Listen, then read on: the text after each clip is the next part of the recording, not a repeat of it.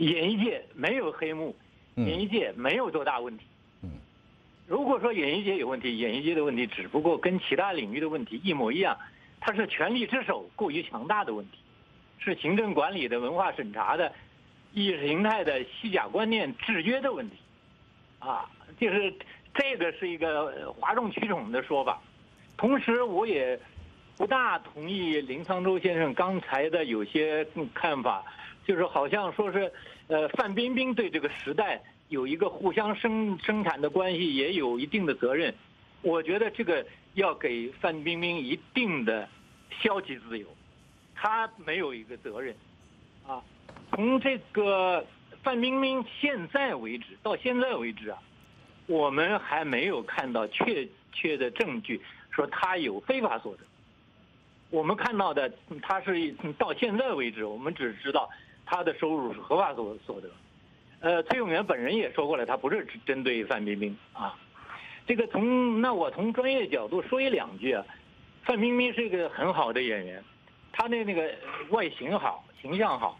这个作为我们经常会说，这个演员他有实力、有气场，就是他是能上得了大荧幕、上电影大荧幕的。比如包括像《我不是潘金莲》，显示出来他表演的这个变化啊，跨度还是挺大的。这个说句那个，在这件事情当中暴露出来的大众心理啊，有的民粹，有的粗暴民众不大懂。演员是一种稀缺资源啊，他的相貌，包括他的嗓音，都是有某种大众心理的密码的。他的知名度不是靠权力给的呀，他知名度是观众买票买出来的，这个就是美学上的止血模式啊。嗯这个嗯，所以我反对嗯，说还是这个演艺界有多少黑幕啊，有多多少问题，水有多深呢、到现在为止，我没看到。另外，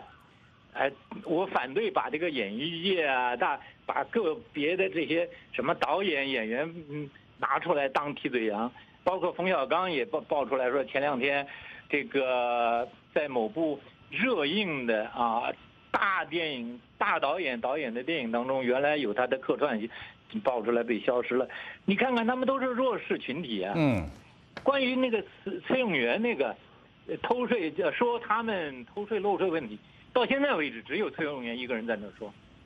我有一个税务局朋友，其实他们私下里跟我聊天说什么，哎呀，他说你不知道，根本不愿意查你们那个演艺界、电影界，因为跟大头比起来，跟偷税漏税的，呃，